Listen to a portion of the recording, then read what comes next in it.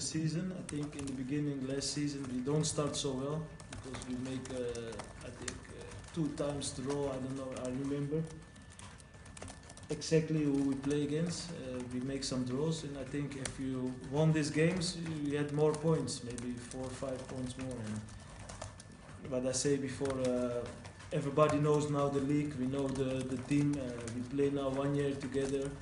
Uh, I, don't change too much. Maybe we get some new players. We have new goalkeepers, We have some injured. But in, in general, I think uh, everybody know each other better, and this is only better for the team that we know each other and to make more uh, better season and more uh, better goals. You know, and to make uh, the like example the smallest team no no easy draws, and I think that this season, yeah, I think that you don't see this anymore. This Ah. you mean, eh? this last. Yes.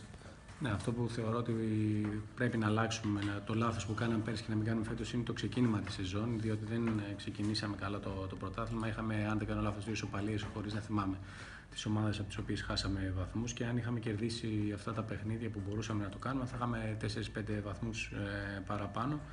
Το θετικό πλέον είναι ότι όλοι γνωρίζουμε το πρωτάθλημα στο οποίο αγωνιζόμαστε. Ήδη παίζουμε μαζί ένα χρόνο, γνωριζόμαστε μεταξύ μας πολύ καλά. Σίγουρα έχουμε κάποιους καινούριους ποδοσφαιριστές ή κάποιους παίχτες που είναι τραυματίες, έχουμε καινούριο τερματοφύλακα.